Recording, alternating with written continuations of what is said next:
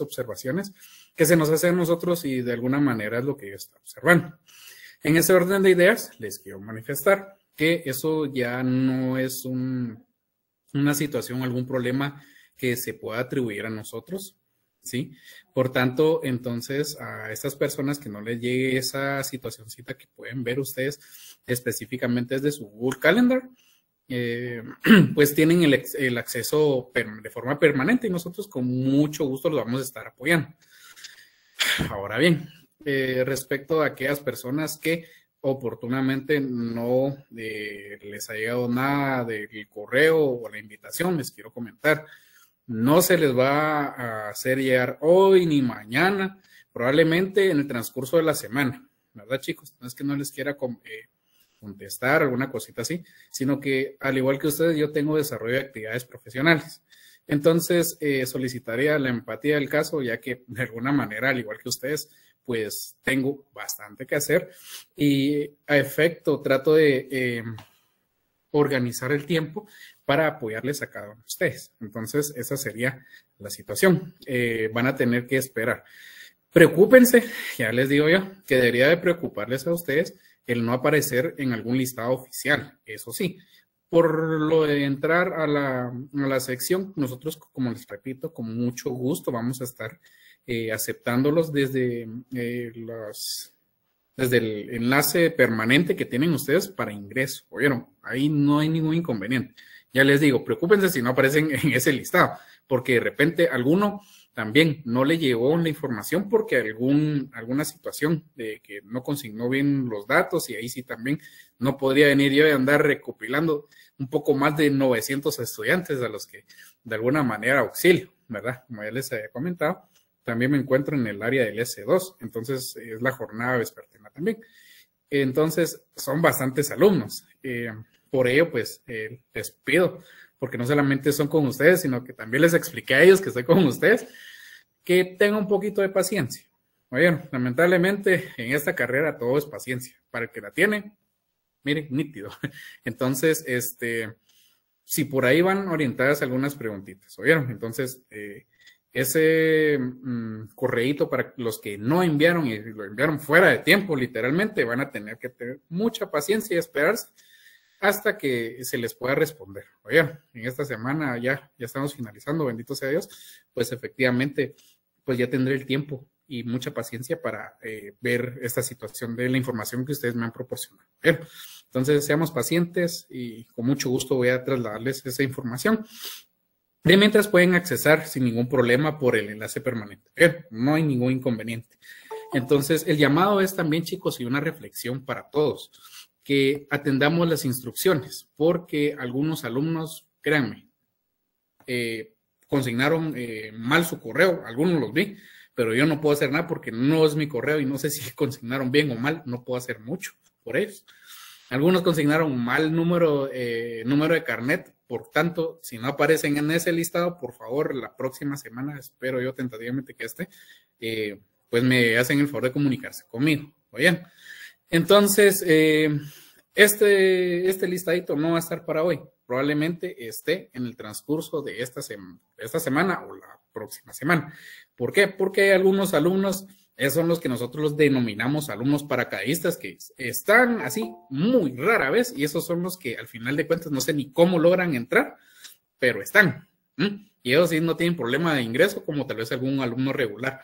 Entonces, este, es lamentable, pero así es. ¿Verdad, chicos? Entonces, por favor, la empatía del caso. Oigan, la empatía del caso que yo voy a tratar de apoyar a todos en cuanto me sea humanamente posible de la mejor manera. Entonces, em, quisiera preguntar, yo veo que por ahí hay una manita eh, levantada. Si es respecto a lo que les he comentado de lo de los correos o alguna información, por favor, siempre por, no les, ya les repito nuevamente, por favor, no voy a contestar números personales, a ninguno. Eso es algo que de entradita me hicieron de, me lo pusieron de manifestación eh, de la facultad y de la universidad. Bueno, entonces no es que no quiera, sino que debo atender a las instrucciones o directrices que me han sido delegadas. Bueno, entonces veamos, Wendy, muy buenas noches. No sé si tienes alguna inquietud o pregunta después de lo que ya ha sido manifestado.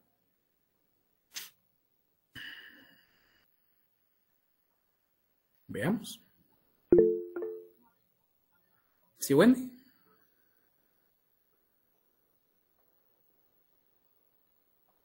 Mm, solo tenemos la manita levantada, pero no sé si puedes activar el audio.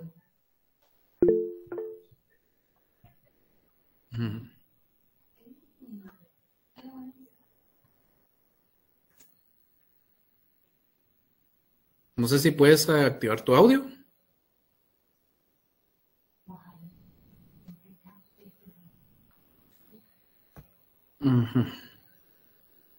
Bueno, este, no sé, estamos claros con lo que les he comentado, chicos, disculpen.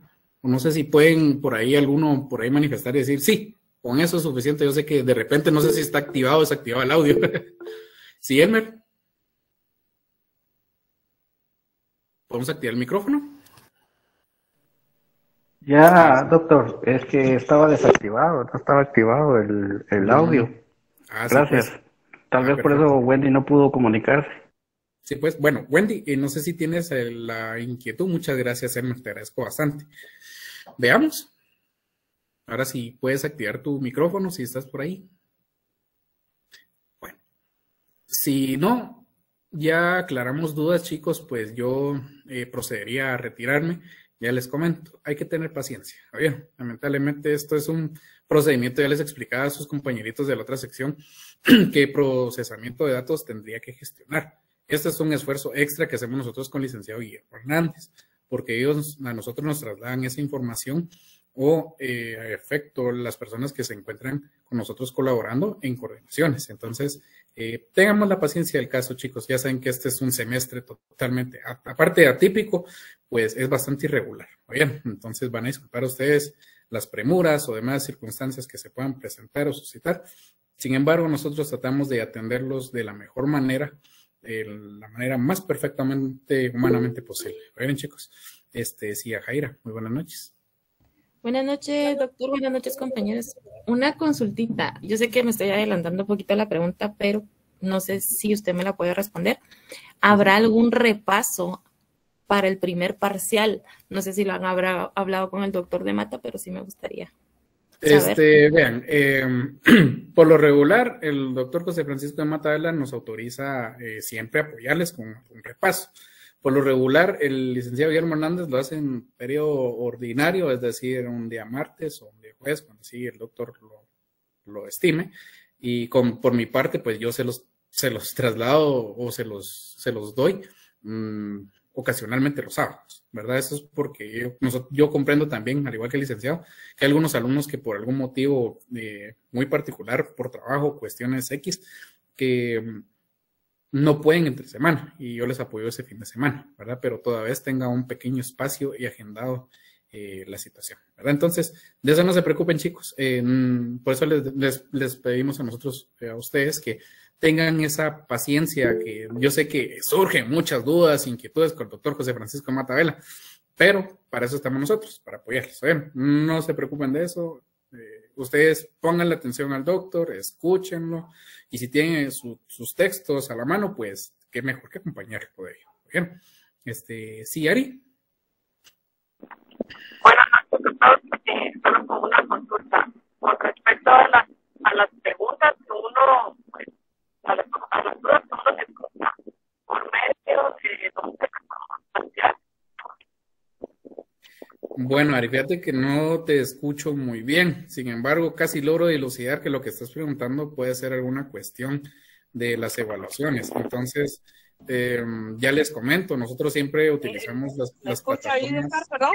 Sí, ajá. Sí, eh, sí, yo lo que le preguntaba es que en el momento que a uno le surjan dudas, ¿en qué medio puede uno plantearlas? Ah, eso es lo que se está explicando. Eh, ahorita no las van a plantear nosotros con el licenciado Guillermo Hernández estamos en la mejor disposición, en su momento oportuno, por supuesto, de, por medio de los repasos, lo que le estaba comentando a tu compañerita anteriormente, ¿verdad? Entonces, eh, ustedes no se preocupen de eso, por eso les, les hacemos hincapié. De igual forma, de forma presencial, doctores, sí, que les traslada la clase y les pide la entera eh, atención que corresponde a la sesión ya oportunamente nosotros eh, les apoyamos. De eso no se preocupen, de eso ya nosotros, como el licenciado Guillermo Hernández, nos encargamos de apoyarles en lo que humanamente nos sea posible. ¿Oyeron? De eso no se preocupen. Eh, sí, Fran, Franchela, es necio yo. Buenas noches, doctor. O sea, directamente al, al, licenciado no le podemos hacer preguntas, entonces. No, por el momento no. No es conveniente porque él desarrolla su, hace su exposición magistral y en su momento oportuno nosotros atendemos a todos con, eh, de una forma un poco más, más abierta y más personalizada, lo considero yo. Entonces el doctor, porque tiene que atender a doscientos y pico de alumnos hasta más, entonces eh, por esas mismas razones que nosotros estamos para apoyarles. Entonces de eso o sea que tendríamos que anotar nuestras dudas y al momento que ustedes nos las digan se las planteamos directamente a ustedes. Así es. Eso en su momento oportuno, nosotros les apoyamos. De eso no se preocupe. Ajá. Gracias. Claro, con mucho gusto. Bueno, chicos, entonces, eh, no habiendo más intervenciones, pregunto nuevamente, ¿habrá alguna duda después de lo que ya les manifesté? Si estamos eh, íntegramente, eh, ya sabemos de la situación, pues por mi parte esa sería mi pequeña intervención a este momento y pues les pediría la paciencia del caso. Ya saben que atiendo un poco más de 800 alumnos y me alegra bastante porque lo hago con mucho gusto. Entonces, eh, tengamos paciencia.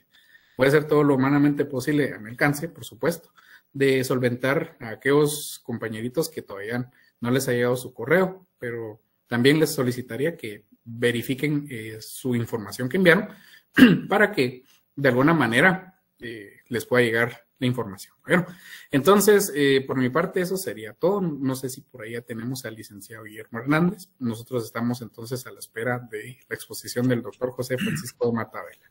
Licenciado, muy buenas noches. Compañeros, eh, doctor, solo el, detalle de la retrasada que me habían estado consultando, así en lo que el doctor, o rapidito, porque explíqueles que es las dos secciones a la misma hora con un mismo link, por favor. Que me ah, sí. Por favor, doctor, disculpe, compañero. Eh, chicos, eh, mucha atención a esto para nuestros eh, estudiantes que van a sustentar la prueba de Derecho Penal uno con nosotros, por favor.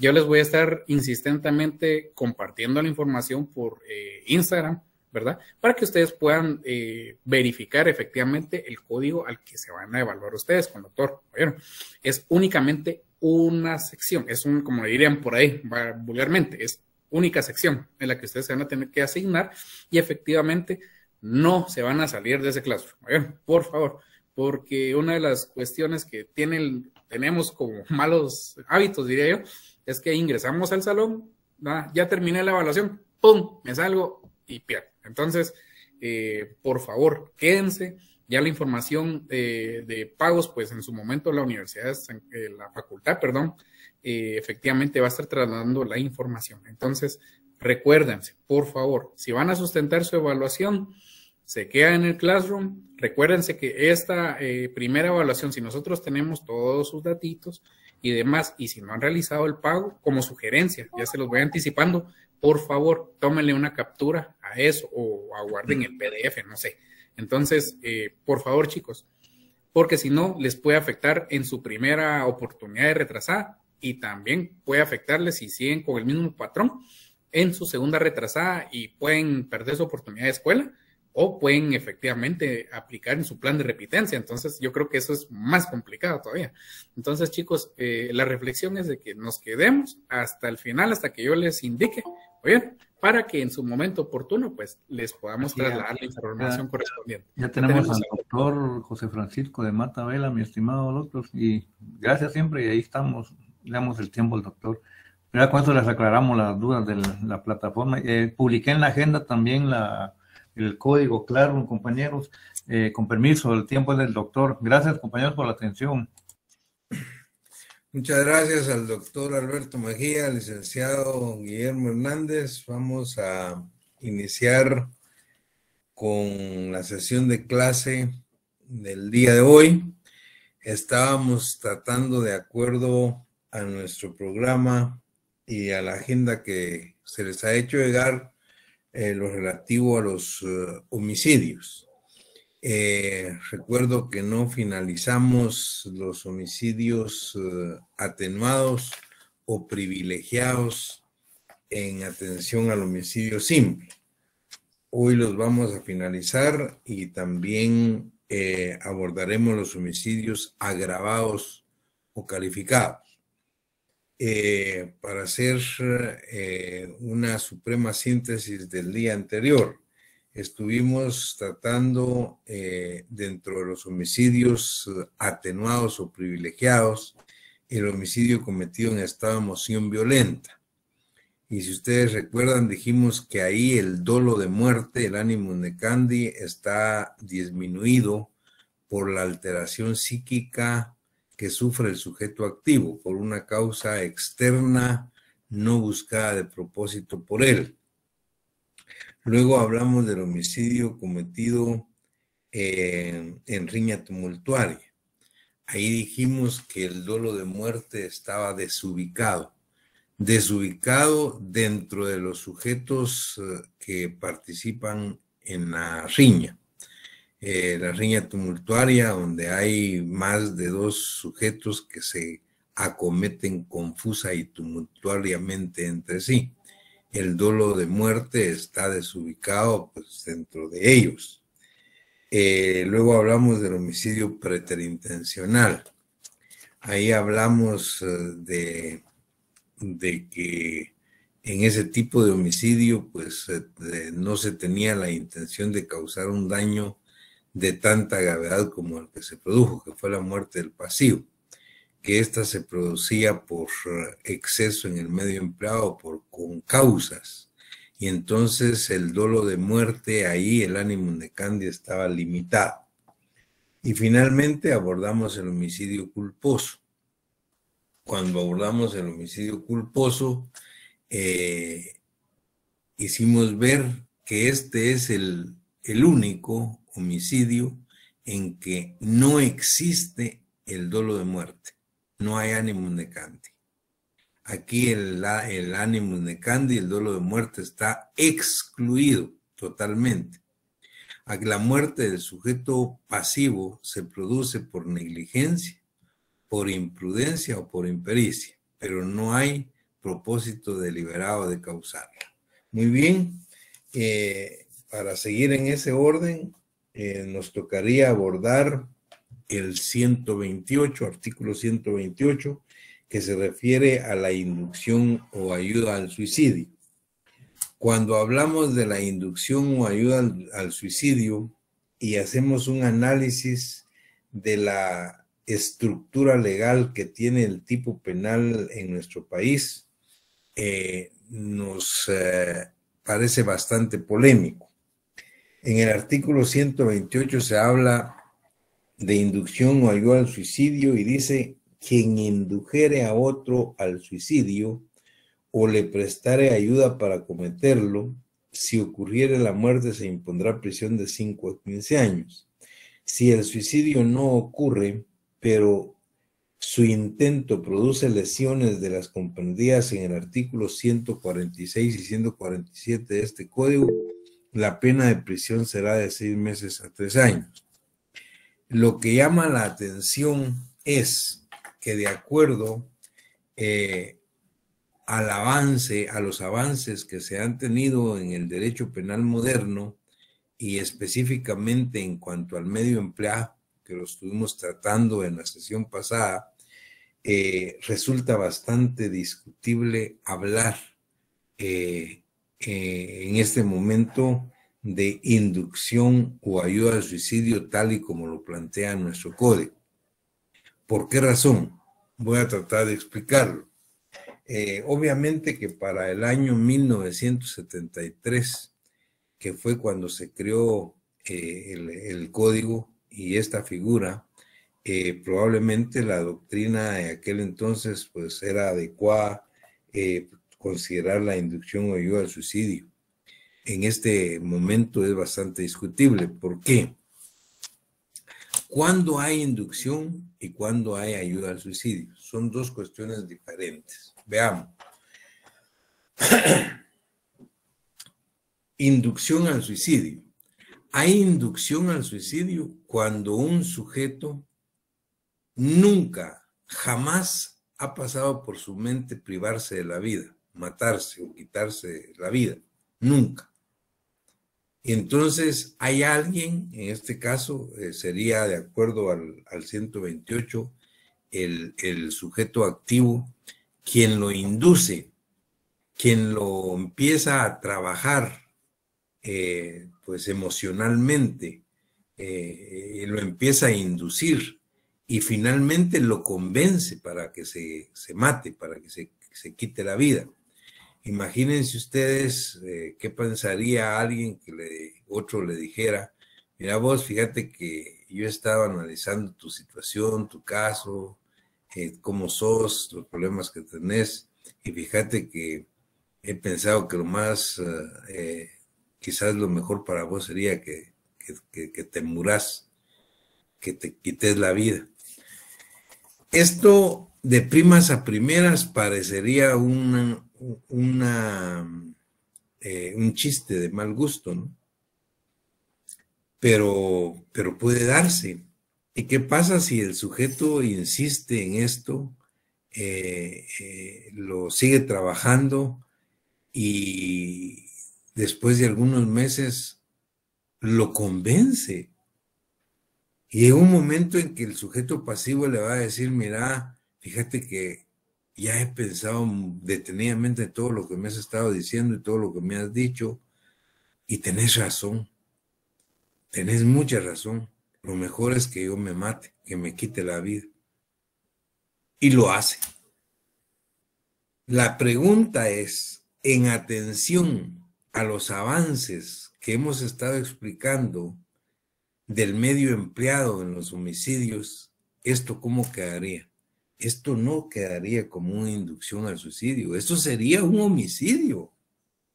El sujeto que convence a otro que lo trabaja, es decir, mental, emocionalmente, y que finalmente lo hace que se quite la vida, lo está matando. De acuerdo al medio empleado, hay una conexión psíquica entre el sujeto activo y el sujeto pasivo. Hay una conexión psíquica, hay una manipulación. Entonces es difícil hablar de inducción al suicidio, eh, pues con una pena eh, eh, atenuada de cinco años, pues, cuando lo que hizo fue darle muerte. Lo único fue que lo trabajó. Recuerden ustedes que hablamos en la sesión pasada del medio empleado eh, como circunstancias totalmente inmateriales, pero de inequívoca potencialidad letal, les decía yo, como la hipnosis, como la telepatía, es decir, como la inducción que un sujeto puede hacer para convencer a otro privarse de la vida. Entonces, es difícil realmente, es decir, eh, eh, poder hablar eh, llanamente de inducción al suicidio. Ahora, en la inducción al suicidio estamos claros que es que el sujeto nunca, nunca por su mente había pensado quitarse la vida. Es otro el que lo induce, el que lo convence y el que lo logra. Por eso es que es discutible hablar de inducción. Tal vez es más un homicidio. Ahora, ¿qué pasa con la ayuda al suicidio? En la ayuda al suicidio, el sujeto pasivo ya decidió por sí mismo, por él mismo, privarse de la vida, suicidarse, matarse, pero no tiene valor para hacerlo.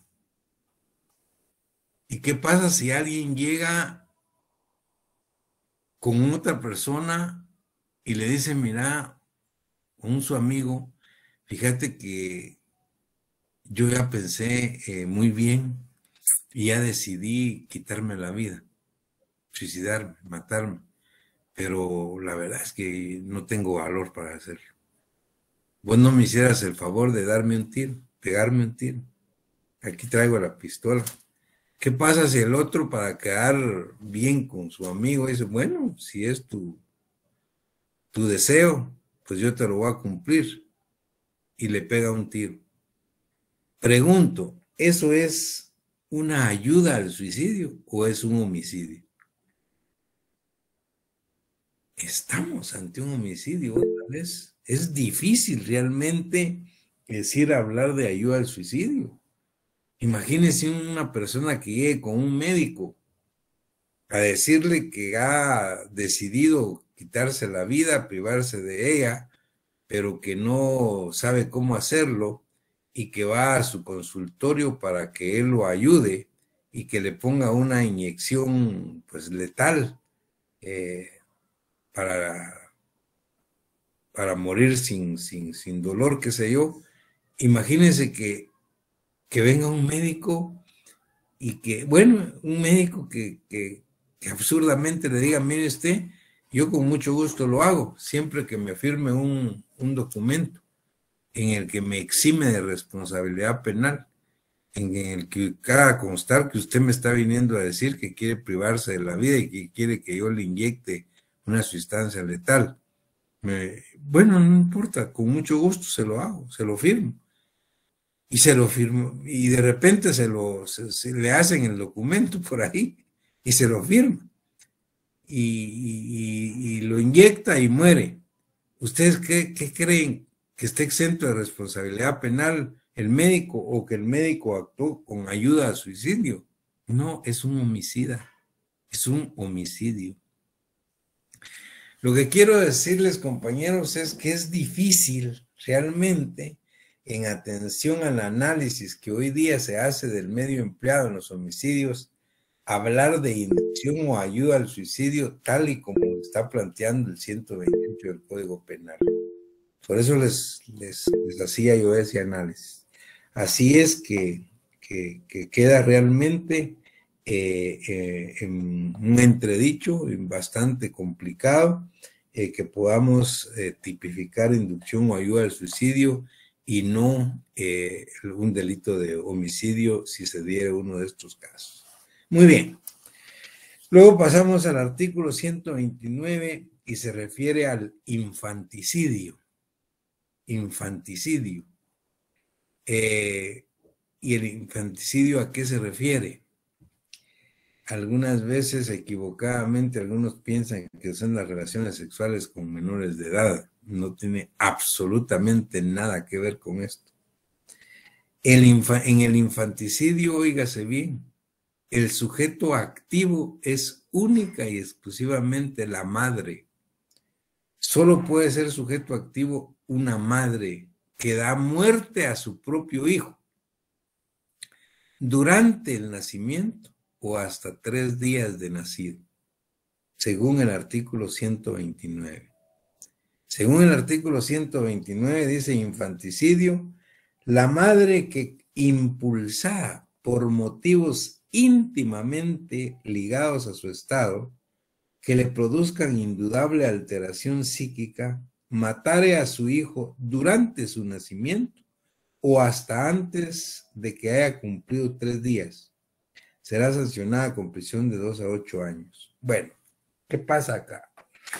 En el infanticidio, el sujeto activo, insisto, solamente puede ser una madre. El sujeto pasivo única y exclusivamente el hijo, el hijo de esta madre que le da muerte. Ahora, ¿por qué razones?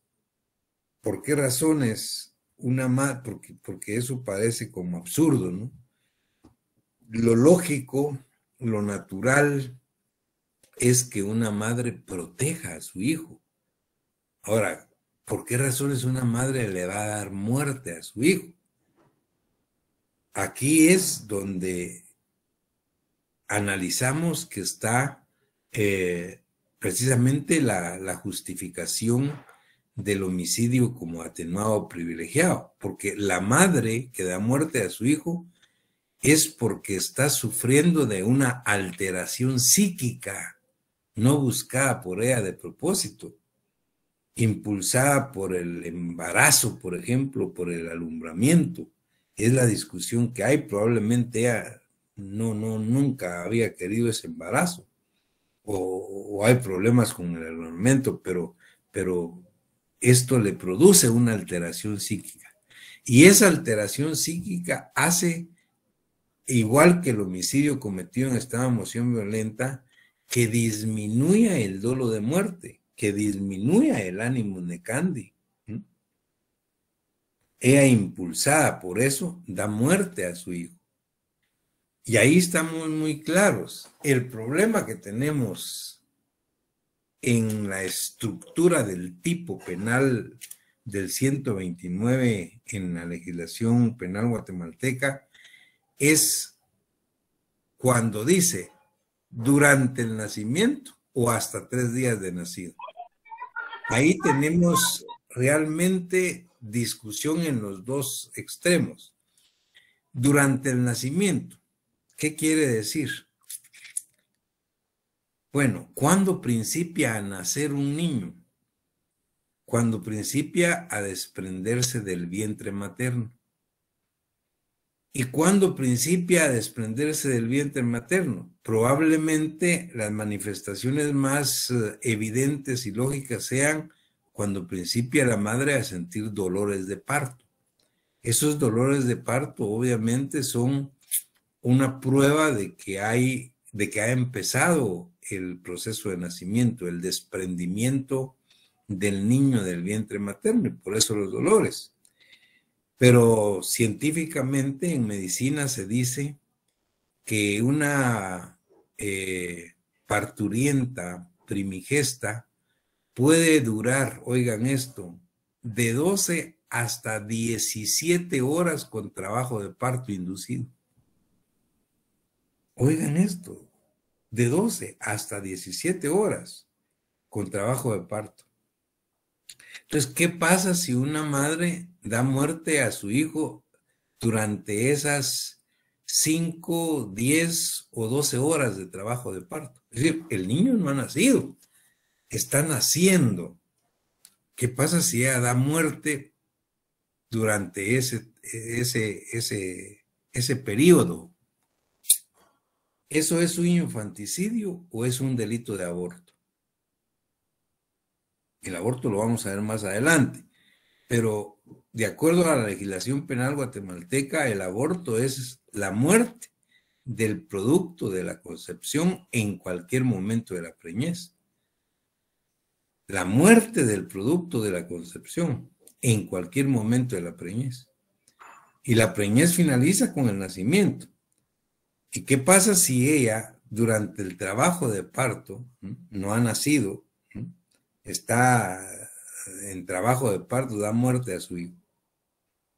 ¿Vamos a, decir que es un infanticidio o vamos a decir que, que lo que hay es un aborto? Ahí podría haber un traslape y entonces hay que tener cuidado con analizar específicamente las circunstancias. Bien, ese es en ese extremo, pero veamos el otro. Dice, durante el nacimiento o hasta tres días de nacido. Tres días de nacido, ¿cuánto es? 72 horas. Ahora, es la madre que sufriendo alteración psíquica, producto del embarazo o alumbramiento, da muerte a su hijo durante las 72 horas. ¿Y qué pasa si esa madre que sufre alteración psíquica, producto del embarazo o el alumbramiento, da muerte a su hijo en las 72 horas y un minuto? Y un minuto o 30 segundos más, deja de ser infanticidio y se convierte en un parricidio. El infanticidio tiene dos años de prisión, el parricidio tiene 50 años de prisión. ¿Creen ustedes que es lógico que 30 segundos o 60 segundos de diferencia puedan justificar la diferencia entre 2 y 50 años de prisión. Eso es lo discutible. Es lo discutible. Porque las causas son las mismas. La alteración psíquica de la madre en el infanticidio. Da muerte a su hijo, dice, pues dice a las 70, a los, antes de los tres días, hasta tres días de nacido. Pero ¿qué pasa si, si ya son 73, tres días son 72 horas? Pero ¿qué pasa si han pasado un minuto, cinco minutos o diez minutos más de las 72 horas? Ya no es infanticidio. Ese sería un parricidio. Pero miren el cambio de pena. Ya no serían dos años, sino 50 años de cárcel. Eso es lo discutible. En todo caso, en el infanticidio, eh, repito, eh, se trata de que el sujeto activo es la madre. El sujeto pasivo es el, hijo. El hijo de antes de tres días o hasta tres días de nacido. Eh, el dolo de muerte en el infanticidio está disminuido. Está disminuido por la alteración psíquica que está sufriendo la madre. Muy bien. Entonces, eh, llegamos, dejamos el infanticidio y llegamos al, último tipo penal que hay de los homicidios atenuados y privilegiados. Artículo 130, suposición de muerte. Aquí sí, nada que ver. Nosotros hacemos eh, eh, un análisis de esto, pues y con toda modestia, pero con todo respeto decimos que aquí sí la suposición de muerte no tiene absolutamente nada que ver en los delitos que atentan contra la vida. Es decir, la suposición de muerte es de alguien que se hace el muerto, que se hace pasar por muerto. Miren lo que dice el artículo 130. Suposición de muerte quien maliciosamente se hiciere pasar por muerto o conociendo la existencia de proceso instruido con ocasión o con motivo de su fallecimiento no se manifestare. Será sancionado con prisión de uno a cinco años. La suposición de muerte, tal y como está planteada en el 130 del Código Penal, si no tiene absolutamente nada que ver dentro de los delitos que atentan contra la vida, porque aquí no se está atentando contra la vida de nadie. Aquí es alguien que se hace el muerto. ¿Con qué objeto alguien se va a hacer el muerto o se va a hacer pasar por muerto? Probablemente con el objeto de cobrar un seguro o de obtener un beneficio, una herencia, qué sé yo. En todo caso, sería un tipo de delito de los que atentan contra el patrimonio, por ejemplo, pero no un delito que atenta contra la vida. O sea, aquí sí creemos que, estamos equivocados. Esta suposición de muerte no tiene por qué estar acá. Solo ese comentario quería, quería dejarlo claro. Muy bien, y llegamos inmediatamente a los homicidios calificados o agravados. Los que terminamos de explicar ahorita fueron los privilegiados o atenuados en relación al simple, o sea que son menos graves que el simple. Y ahorita principiamos a ver los homicidios denominados calificados o agravados en relación al simple. Son más graves que el homicidio simple.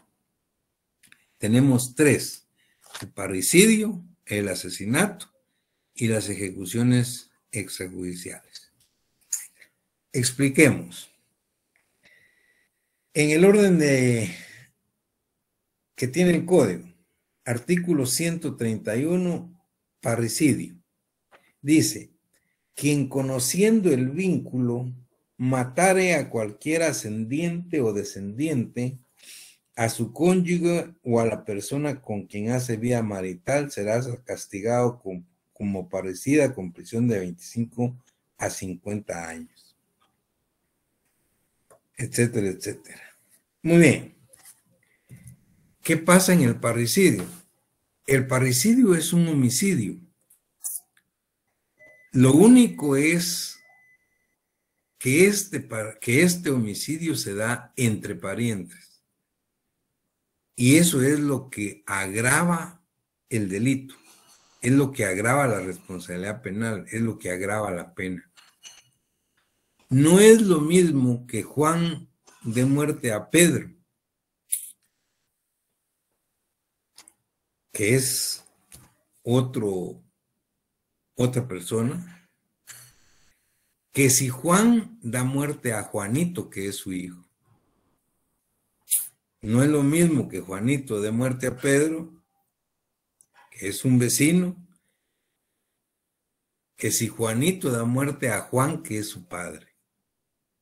O sea, el agravamiento de la responsabilidad penal, de la pena y de la figura delictiva se da acá en que se le está dando muerte a un pariente. A un pariente dentro de los grados de ley, pero que conste, y esto es muy importante, muy importante, ojo y oído, para la legislación penal guatemalteca, el parricidio solo se da en la línea ascendente o descendente, no en la horizontal. Quiere decir que solo se puede dar el parricidio en la muerte que se dé al padre, al abuelo, al bisabuelo, o bien al hijo, al nieto o al bisnieto. Es decir, en la línea ascendente o descendiente. Y también se considera parricidio para la legislación guatemalteca cuando se da entre esposos. O bien, aun y cuando no estén casados, entre personas que hagan vida marital, que estén viviendo juntos. Pero no se da en la línea horizontal. Es decir, si la muerte se da entre hermanos, no hay parricidio entre sobrinos, entre primos, no hay parricidio. Eso hay que tomarlo bien en cuenta. ¿Cómo queda el, el sujeto activo? Obviamente, el sujeto activo y pasivo tienen que ser parientes dentro de los grados de ley en la línea ascendente o descendiente. Cónyuge o persona con quien haga vida eh, eh, marital, vida de, de que, vivan juntos. Ahora, el elemento subjetivo, que es lo más importante, debe haber un dolo de muerte, un ánimo necandi específico. Es decir, debe haber voluntad y conciencia del sujeto activo que le está dando muerte al sujeto pasivo que es su ascendiente o descendiente, o su esposa, o su conviviente. ¿Qué pasa si no sabe que es su ascendiente o descendiente? No sabe. Si no sabe y no conoce el grado de parentesco, no sería parricidio. Recuerdo un caso de la jurisprudencia eh, guatemalteca hace, hace algunos años, en que al filo de medianoche, una señora, esposa, despertó a su esposo y le dijo, lo empezó a mover, le dijo, despertate, despertate. ¿Qué pasó? ¿Qué pasó? No hagas bulla, se están entrando los ladrones aquí a la casa. El marido se despierta eh, y adormitado, pues mm, sin encender luces, oyen perfectamente que están caminando sobre la lámina de su casa. La señora le dice, están entrando los ladrones el Señor toma su rifle, abre la ventana que da al patio y ve efectivamente la sombra de un sujeto que venía caminando encima de la lámina y que brinca, ve cuando brinca al patio de su casa. Cuando brinca al, patio de la casa le dispara con el rifle y, y lo mata. Luego al llamar a la autoridad y todo lo que se dio después, él advierte que le ha dado muerte a su hijo que venía de trasnochar. Tenía un hijo de 19 años a quien le prohibían salir los fines de semana por la noche con los amigos y el muchacho pues eh, salía de escondidas. Y entraba después de medianoche, ya lo había hecho varias veces, pues eh, eh, escalando la pared, subiendo a su casa y saltaba. En ese caso, la pregunta es qué delito cometió el sujeto, el señor. Ahí no hay parricidio. No hay parricidio. Sí, le dio muerte a su hijo, sí, pero no, el, el ánimo Necandi específico no existía. El dolo de muerte a su hijo. Él no sabía que estaba disparándole a su hijo. Él estaba disparando, según él, a un ladrón que se estaba entrando a su casa. Es más, si hubiera sabido que era su hijo, obvio, no le dispara. Entonces aquí no hay parricidio. En el parricidio tiene que haber un dolo específico de darle muerte eh, eh, al pariente. Tampoco hay en el aberractio ictus, en el error impersonae, ni en los casos culposos. Esto ya lo manejan ustedes, recuerden su derecho penal 1, que lo, vimos bien. Eh, ¿Qué es el aberractio ictus? Según los autores alemanes, aberractio ictus es el error en el acto o error en el golpe. Eh, Juan quiere matar a Pedro. Le dispara a Pedro, pero no le pega a Pedro, sino la bala eh, le pega a, a Juanito, que es su hijo y que venía atrás de Pedro. Es decir, error en el golpe, falta de pulso. En ese caso tampoco hay parricidio, porque él no quería matar a su hijo. Él no le disparó a su hijo, él le disparó a Pedro. Pero por falta de pulso, le pegó a su hijo a quien, a quien mató. Pero tampoco hay parricidio. Ese era verractio ictus. El error impersonal igual. Es el error en la persona. Le dispara a Pedro, pero resulta que no era Pedro, sino era su hijo, que se parecía a Pedro. Confundió a la persona. Tampoco hay parecido. Y en los casos culposos, de la misma manera. ¿Qué pasa si un padre de familia va con su esposa y sus hijos a una celebración, a una fiesta que fue invitado, eh, irresponsablemente se emborracha. Y de regreso a su casa, eh, choca al carro por la borrachera que trae y da muerte a sus hijos o a su esposa. ¿Habrá parecido? Tampoco hay parricidio.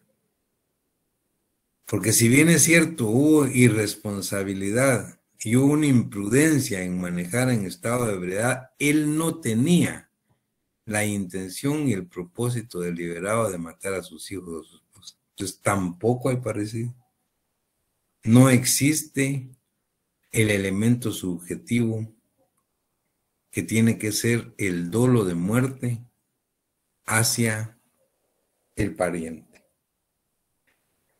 Eh, muy bien. Hay otros temas, obviamente no tenemos tiempo, ustedes los pueden leer en la doctrina, en su bibliografía, que son bastante discutibles. Por ejemplo, eh, ¿qué pasa con los hijos adoptivos? ¿Qué pasa si, si es un hijo adoptivo. Eso es bastante discutible también. Decir si hay o no parricidio. Les ruego que lo estudien porque de repente se lo pregunto en el examen, en un caso. Bien, eso es con respecto al parricidio. Pasamos al 132, que es el asesinato. En el asesinato se trata también de un homicidio solo que un homicidio que se agrava por las, por las cualificantes, por las causas en que se comete. Y de acuerdo al artículo 132 del Código Penal guatemalteco, comete asesinato, dice, quien matare a una persona, uno, con alevosía, dos, por precio, recompensa, promesa, ánimo de lucro, Tres, por medio o con ocasión de inundación, incendio, veneno, explosión, desmoronamiento, etc. Cuatro, con premeditación conocida. Cinco, con ensañamiento. Seis, con impulso de perversidad brutal.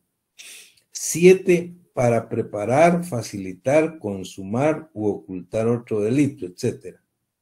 Ocho, con fines terroristas, o en el desarrollo de actividades terroristas.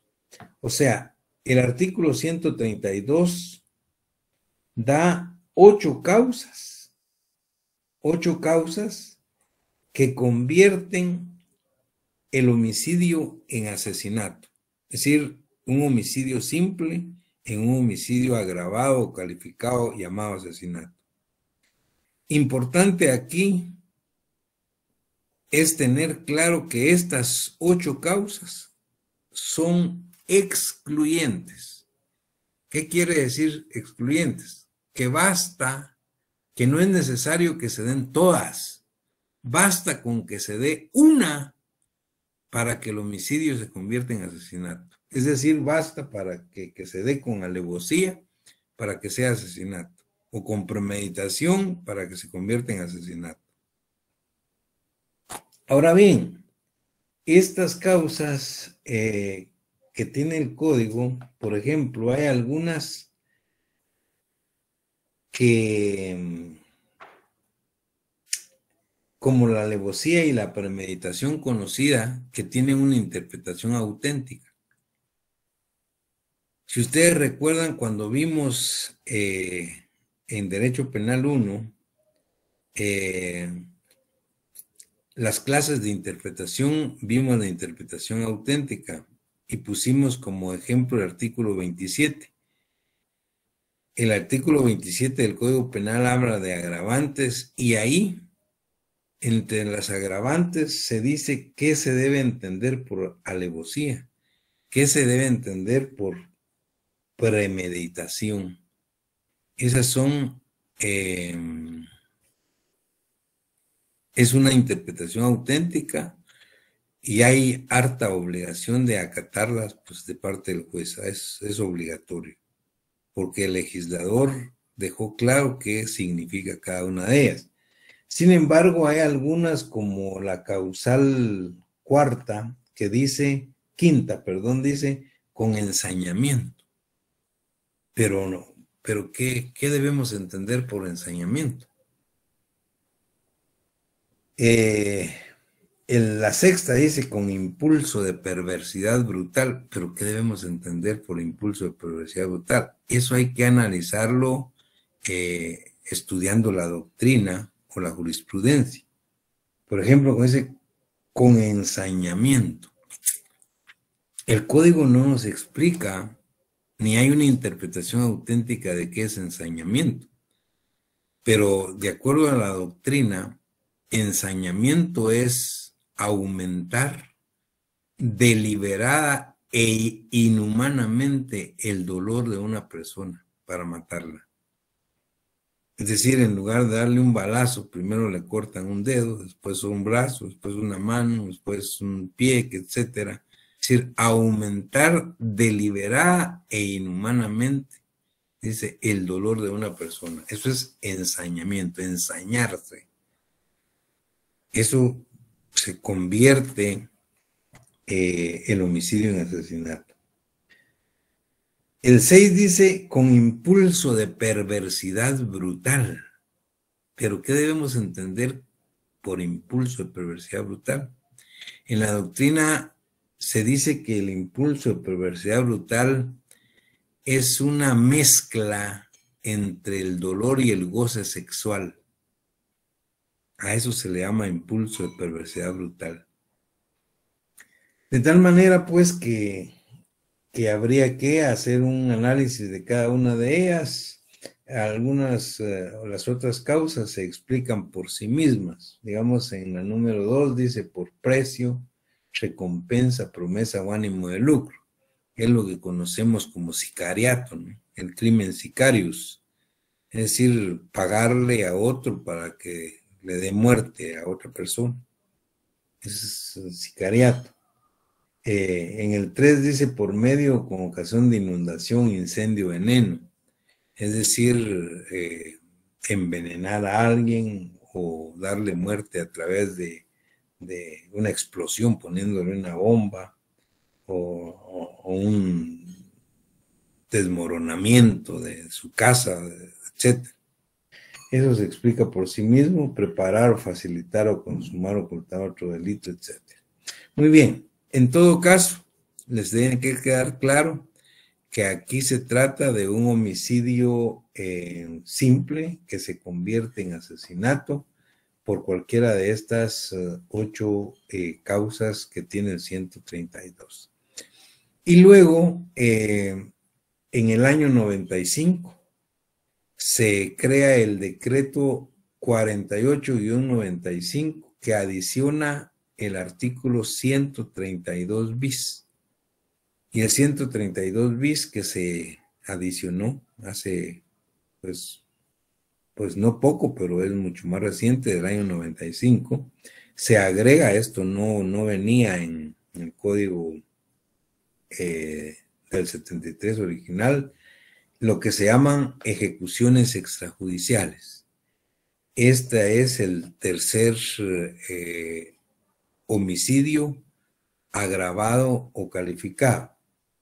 Y en el 132 bis dice ejecución extrajudicial, dice comete el delito de ejecución extrajudicial quien por orden, con autorización o apoyo o aquiescencia de autoridades del Estado, privare en cualquier forma de la vida a una o más personas por motivos políticos. En igual forma comete dicho delito el funcionario o empleado público perteneciente o no a los cuerpos de seguridad del Estado que ordene, autorice, apoye o dé la aquiescencia para la comisión de tales acciones.